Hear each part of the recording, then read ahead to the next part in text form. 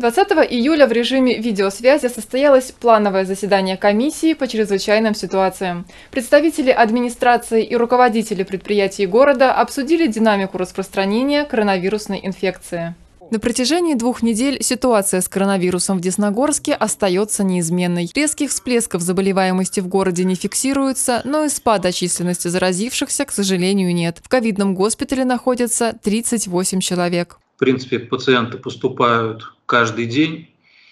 А, в основном это и завозные случаи в большей части, в меньшей степени распространение здесь происходит внутри а, города.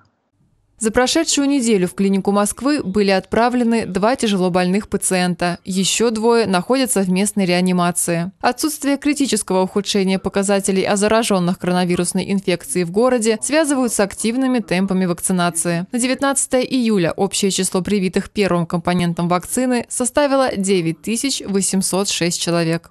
Запас вакцины есть, он всегда находится у нас около тысячи, полутора тысяч, поэтому мы ее расходуем, нам ее поставляют, пока перебоев с поставкой вакцины нету, и значит, какие-то там действия по удлинению сроков или отмены вакцинации пока не наблюдается.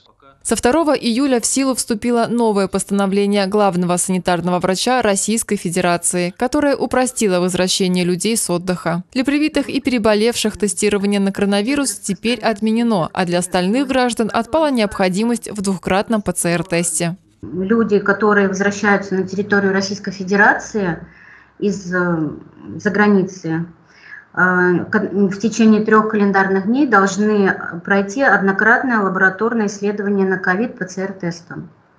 И по, дождавшись результата отрицательного, спокойно могут выходить на работу.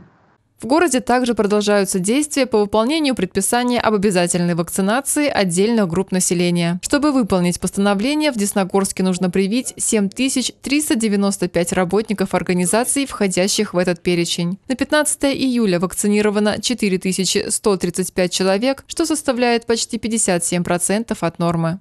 Ксения Ложкова, Юлия Соболева, Александр Ерофеев, Десна ТВ.